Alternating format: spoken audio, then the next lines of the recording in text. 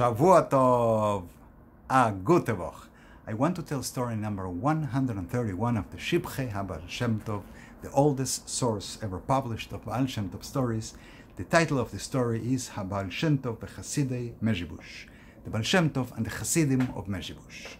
Why are this man called, men called Hasidim is if at the beginning of the story they have not yet become Hasidim of the Baal Shem Tov.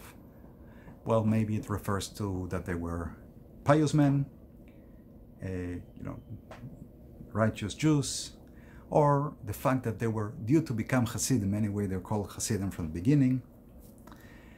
This is a story of when the Baal Shem Tov first arrived in the community of Mezhibush, and he was not seen as an important person in their eyes, was not regarded very highly by the Hasidim that lived in Mezhibush, that is to say, Rav Zev Kotzes and Rav David Forkes. Well, it was the name Baal Shem.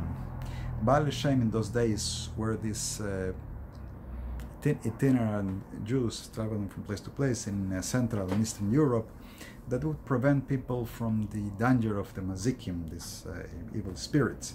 They would heal people through spiritual means. They used um, kameot, cameos or amulets, and uh, Shemos Kedoshim, mystical names of God, and other segulos. So the way the Hasidim, this uh, pious scholar Jews of uh, of Mezhibush, a tzaddik should be somebody of a higher level than that. They didn't didn't click with them the name Baal. So they had a student who was a Gaon. He was a great scholar, and this uh, student became sick.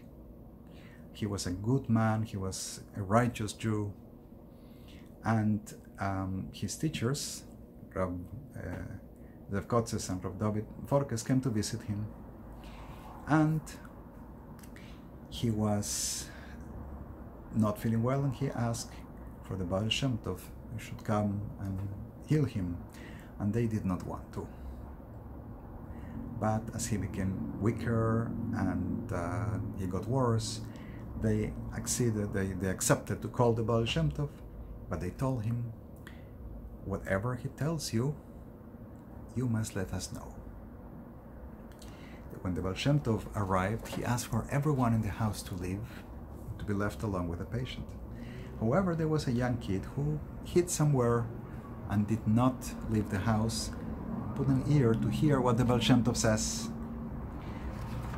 And so the Baal says to the patient, I'm sorry, but it's due for you to die, and I cannot do a tikkun, I cannot change it. The man gave his vidu, his confession, told something about the Baal Shem uh, the, to the Baal something about his life that he needed to, to correct, some problem, and he said, I wanted to rectify this before I die.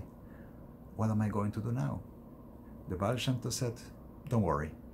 I will see to it that you will have no problems with this matter, and I will make sure you come into Gan Eden. Do not reveal to anyone the words I am telling you now. And the Baal Tov left. And since the the rabbis, the teachers of this man came back, they asked him, What did he say? He refused to tell them. So the kid came out from his hiding and told them. Then they asked him, Is that so? Is that true? He said, Yes. They were astonished. How would he know what's going on Lemala, up there, to know who will or will not be accepted in Gan Eden and that he can intervene and change that?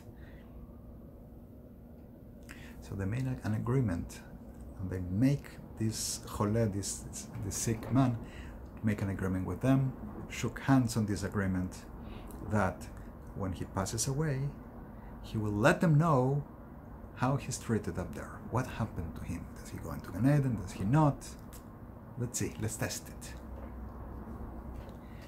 Well, unfortunately, the man did pass away, and then he came to them a dream and revealed to them that indeed he had gone into Gan Eden and he did not see there the Baal Shem Tov and he did not know how he was let into Gan Eden, why was the door open to him, but he realized he has no place there. Because when he sits in one place, somebody comes and claims the place and pushes him aside, and he goes somewhere else, and somebody claims the place and they put, shoved him somewhere else. And he would be run from place to place until he had no place left to go. And he was really sad, and it bothered him, and he did not know the why, what was going on. So he said, I meditated in my mind. The Baal Shem Tov had promised me to come into Gan Eden, but I have no makom menucha, I have no place to rest. And he I felt so bothered by it. Then he says, once I saw the Bnei Heichala, the big Talmidei Chachamim, they came into this Heichal, into this heavenly palace, and I went with them. And as soon as they came in, I jumped and I grabbed a place in the table and they pushed me, pushed me, pushed me until I was out of sitting places and I had to stand next to the table and I see the Baal Shem Tov sitting with them, giving them Divrei Torah. And he asked this kush, this kushia, this kasha, this difficult question. And he asked the ones present, the Bnei Heichala is this great Talmidei Chachamim whose souls have gone up to Gan Eden, they are still only learning Torah to serve Hashem and to become one with Hashem through that learning. So he asked them, what's the question to this kasha, to this diff- what's the answer to this kasha? Where is the tirutz, the explanation? They did not know. So the Baal Shem Tov gave, gave it to them. And then each one left. Then the man who is telling this in the dream to the two Hasidim says, I asked the Baal Shem Tov, why do I not have a place in Gan Eden? And the Baal Shem Tov said to me, he says, because you made an agreement and you shook hands on it and you have not fulfilled your agreement. This Talmid concludes his words telling his teachers, I immediately came to you in this dream. As soon as I hear the Baal telling me I didn't fulfill my word, I came here. And he told them exactly what was the kasha, the, the difficult question the Baal had for the Bnei Heichala, for Talmidei Chachamim, the, the, the, scholarly Jews up in heaven. And what was the tirutz, what was the explanation, the answer to the difficult question that the Baal gave in Gan Eden. Immediately, that night when they had this dream was, was uh, Shabbos, Shabbat, by Seudah Shelishit, by the third meal of Shabbos, they came to the Baal Shem Tov. And at the Baal Shem Tov's table, in Mezhibush, they hear the same Davar Torah and the same kasha, the same question, difficult matter that he, the Baal Shem Tov is asking about. So the Hasidim offer the answer, and the Baal Shem Tov tells them, I know that the mess, the man, the man who died, mes in Hebrew, the, the, the, the dead man told you. From that day on, they became closer to the Baal Shem Tov. They realized who he is. They become his disciples. The Rav of our community says the author of the Shivchei Baal Shem Tov. He means Rav Gedalia of Linitz said that the man was really admitted into Gan Eden. He sat by the, a place close to the gate of, uh, of Gan Eden, and there every time his neshama had an aliyah, this light shone upon him.